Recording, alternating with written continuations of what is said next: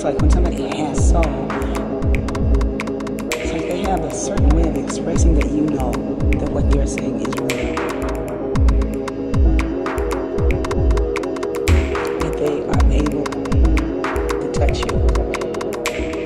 And because a soulful person may not necessarily be the one that dances well, but they have a great appreciation. you know what I mean?